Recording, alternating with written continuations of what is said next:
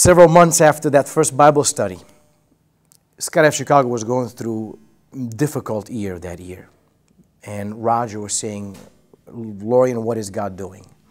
I knew that he was living his life away from God. I knew that he was living his life in sin. And God was touching my heart that I've got to tell this man that he's got to change his life. He's got to give his life to Christ for real.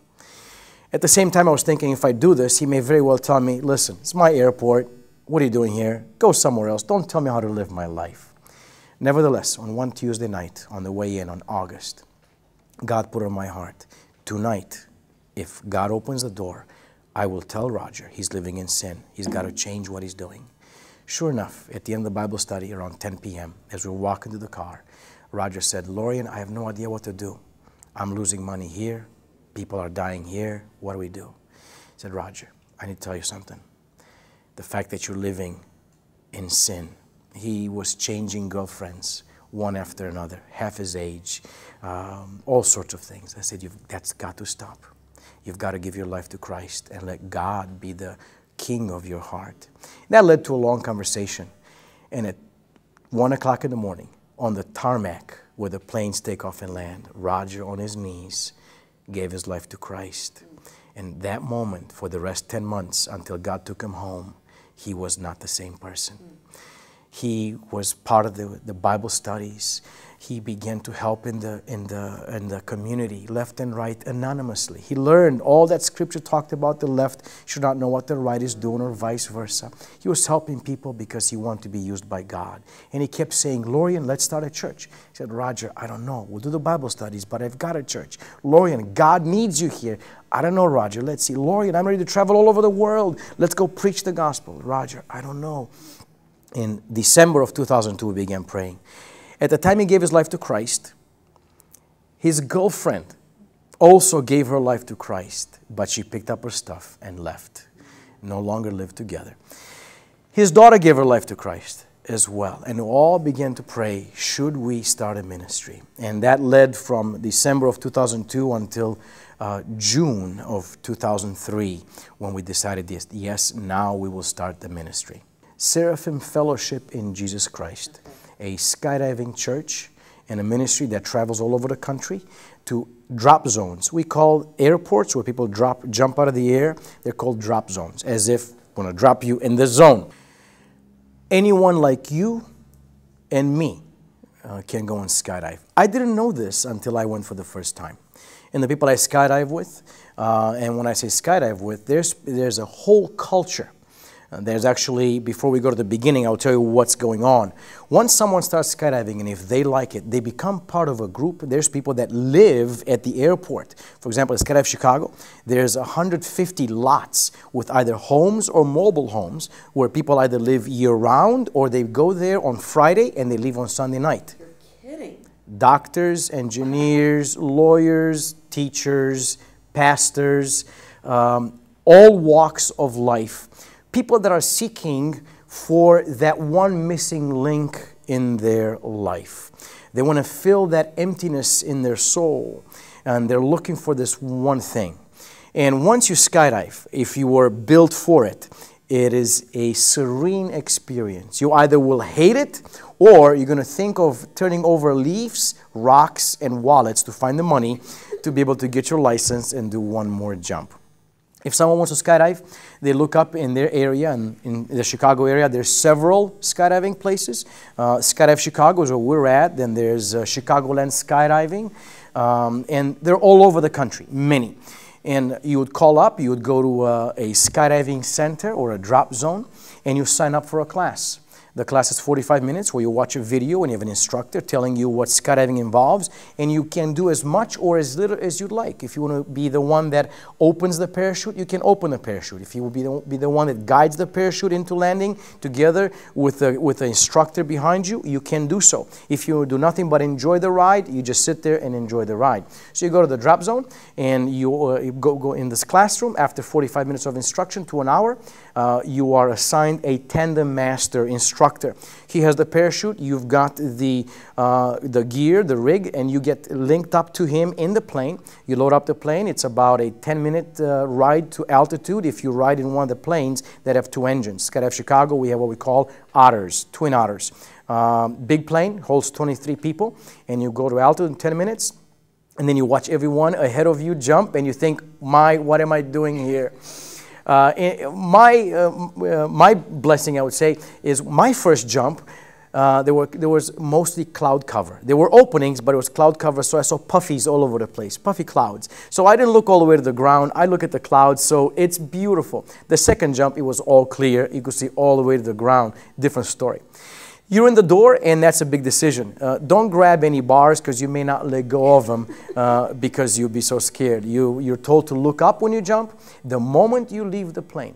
In the door, your heart beats faster and harder than it ever has because you're thinking, I'm going to die.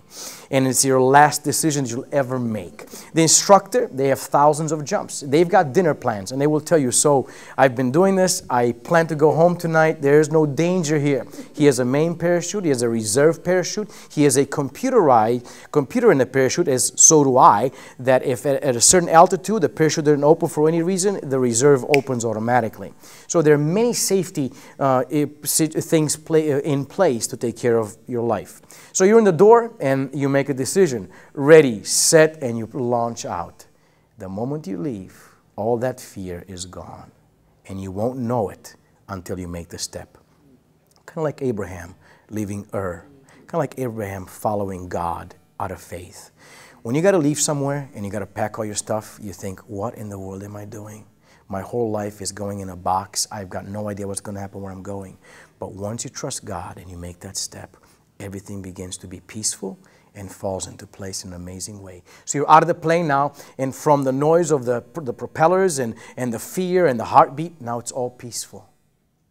And you're so far off of the ground that it seems surreal. It seems like you're floating. There's no emptiness in your belly, you're just floating and you float and you fly, it seems like, for 60 seconds, after which you open up your parachute, or your instructor, if you forget to, opens at 5,500 feet, after which the parachute opens up and you glide peacefully.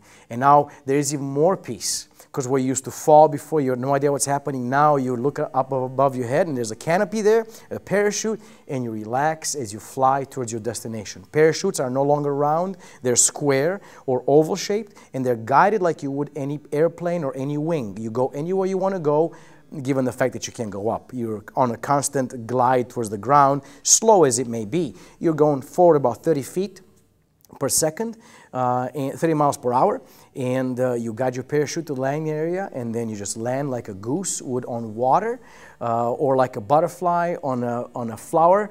Uh, if there's wind, your landing is uh, going to be very light. If there's no wind, you're going to come in like a goose over water, gliding and landing on your butt, uh, if you are a student obviously more experience, you land on your feet.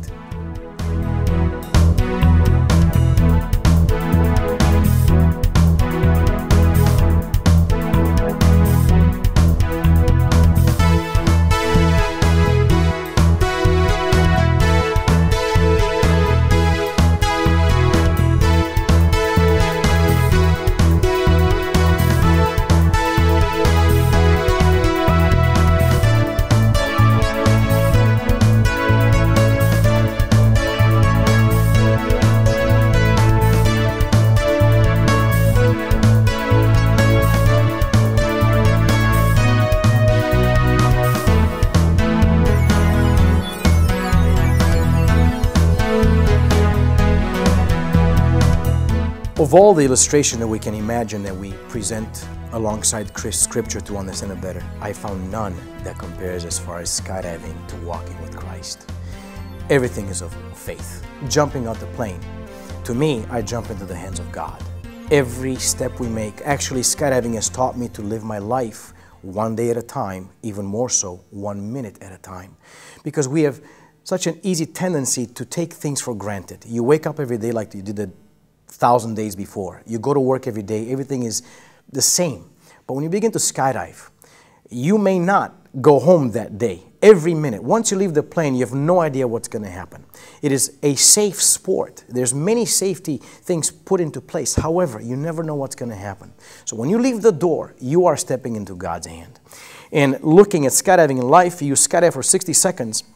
I see that as living your life for 60 years or so. At the end of 60 seconds, you better have an answer to what's going to happen between you and the ground that's rushing up at you. At the end of your life, 60 years, 40 years, 80 years, you better have an answer for eternity because life is much more than what we see, feel, and touch. Our soul is eternal, and so is the decision we make. It's eternal. So as we skydive, we have a parachute that we open uh, at the end of 60 seconds. You need to have something that saves your soul at the end of the 60 years, which is a personal relationship with Jesus Christ. In our canopies, we have this computer that opens up the reserve in case of malfunction problems. I look at that as the Holy Spirit, always being present, always being quiet, never knowing it's there, always being ready. When everything else falls apart, the Holy Spirit is ready to open up and save and lead and guide and restore when we skydive, we make many decisions. Uh, for example, if we were to do a 10 people jump, we all have our place that we must be to complete that formation. No one, when we prepare to do a, te- a 10 person jump or a 100 person jump, everyone is expected to be in their place at the right time. Otherwise, the jump is, fails. So many times people think of church that no one will care if I'm there or not. If I go to church on Wednesday night, I'm too busy. If I go to church on Sunday night or Sunday morning, I'm too busy. When you skydive, if your, your position is expected to, to finish the formation, if you're not there, it's unfinished. It can't be done. In church, the same. Every person is needed to be there in prayer and in encouragement and, and learning. If you're not there, the body is absent. The body is missing a link that it needs to have for strength. And it goes on and on. And as I present scripture to skydivers, their eyes open up because they understand. So many times, people get hurt in skydiving not because of falling out of the, out of the, the plane. They get hurt in skydiving because they push the envelope in landing. You want to land fast and furious, and you want to impress people. Actually, uh, the most dangerous thing you can ever think before you land is watch this. Or if someone sees people on, see people on the ground uh, videotaping or taking pictures, they're thinking, "Oh, I got to show off in the way I land," and that's when they take chances when they should not, and that's when they get hurt landing. Many times in our Christian walk, we think, well, I want to, I want to so and so see me how I live as a Christian. I want to show off what I know, so at that point, uh, I can be, uh, you know, applauded or appreciated. Pride goes before fall in skydiving and our spiritual walk. And so on and so on, as far as the parallels of how God really opens our eyes to understand that life is never to be taken for granted. You live one day at a time you live and walk humbly with your Lord. And let God take care of 13,500 feet when you fall. You're in His hand. He'll take care of things you cannot see. Through God's leading to name the ministry seraphim, from Isaiah chapter 6, the angels having six wings. With two, they cover their feet, which is worship. With two, they cover their face, which is humility. And with two, they fly, which is service. The Lord uses seraphim to travel throughout the country at different airports. And as I jump with people, as an instructor, as an organizer, I jump with them.